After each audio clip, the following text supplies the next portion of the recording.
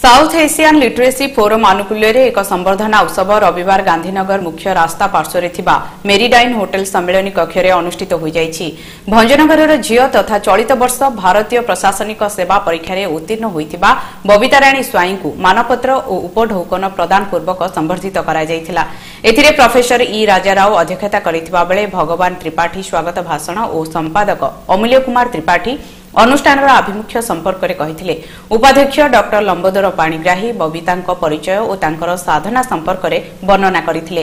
Professor Balabhadra Tripathy professor Mohan Pattnaik doctor Gagan Purohit doctor Bhagaban Tripathy Monalisa Das doctor Brundaban Pattnaik Prafulla Kumar Pattnaik doctor Daitari doctor Prasanna Kumar Bishoi ଓ doctor Bibhu Prasad Padhi ଏହି ଅବସରରେ ଉପସ୍ଥିତ ଥିଲେ।